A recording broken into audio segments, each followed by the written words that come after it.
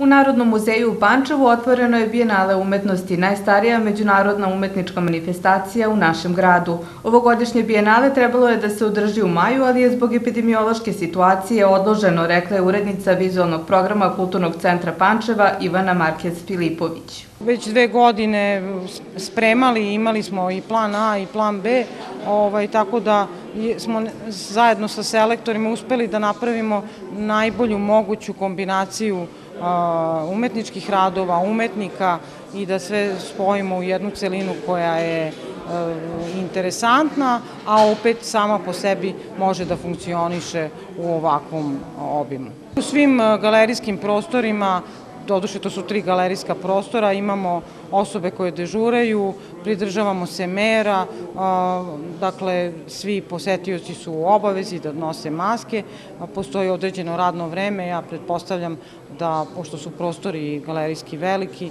da neće biti problema, da neće biti velike gužve. Sanja Latinović, članica autorskog tima, istakla je da je cilj ovakvih manifestacija da se umetnicima da podrška kako bi nastavili da stvaraju.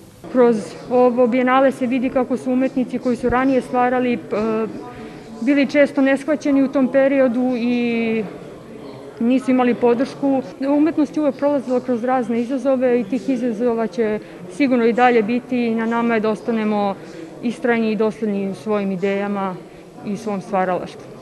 Kulturne manifestacije nastavlja da podržava grad Pančevo i na taj način postiče mlade da učestvuju u kulturnom životu. Grad Pančevo podržava ovakve manifestacije baš zato da bismo zajedničkim snagama mogli da omogućimo njihov kontinuitet i razvoj, a grad Pančevo, pored toga što podržava ovakve manifestacije, on podržava, sufinansira i finansira projekte iz oblasti kulture, e, sve kulturne institucije, zatim udruženja građana, ali uporedo sa time stalno i kontinuirano postiče razvoj mladih kako bi oni učestvovali aktivno u kulturnom životu u Pančevu. Ovogodišnje bijenale umetnosti realizuje Kulturni centar Pančeva uz pokroviteljstvo grada i Ministarstva kulture i informisanja Republike Srbije. Trajeće do 27. novembra u okviru programa radove će izložiti 20 umetnika iz Srbije i Hrvatske.